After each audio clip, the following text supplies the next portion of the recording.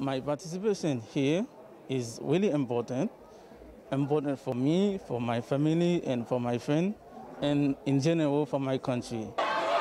还记得十年前海地那场规模七点零强震，历经的灾害成为所有居民难以抹灭的恐惧，也让海地学生特地来台取经。After I back in my country, uh, first of all, I will start sharing what I learned here.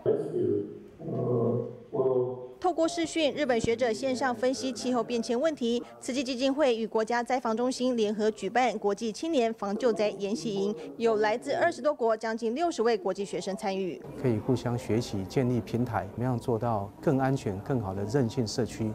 对未来的防灾备灾上面，可以有更进一步的提供一些方向跟架构。国际的青年学生能够将我们的经验啊带回他的国家，好好播种在每个地方。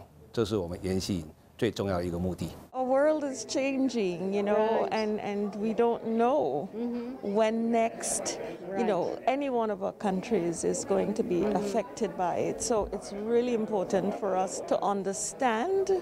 The importance of disaster preparedness. 未来四天三夜，除了演讲，还有十座课程，希望让这群关心环境的年轻人都具有防灾减灾的应变能力。在，新闻周晨邓英中台北报道。